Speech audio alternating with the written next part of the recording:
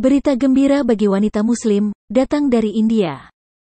Bagi wanita-wanita muslim yang selama ini gundah gulana dengan nasib mereka di jannah, tentang apa yang bisa mereka dapat, atau apa yang mereka bisa lakukan.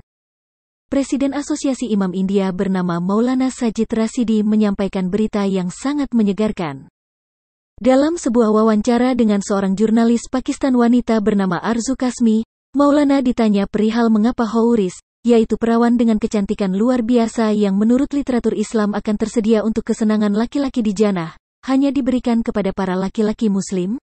Mengapa hal serupa tidak diberikan kepada perempuan muslim? Maulana menjelaskan, perempuan muslim akan dijadikan kepala dari 72 houris yang akan didapat suaminya itu.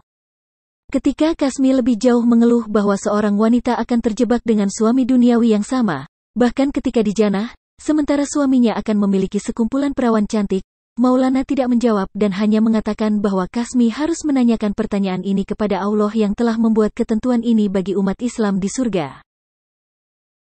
Jadi sudah jelas ya, tidak perlu gundah gulana lagi.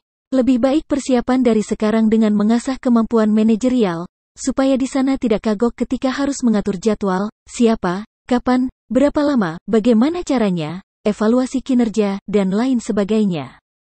Selamat ya, akhirnya ada kejelasan tentang nasib dan tugas kalian.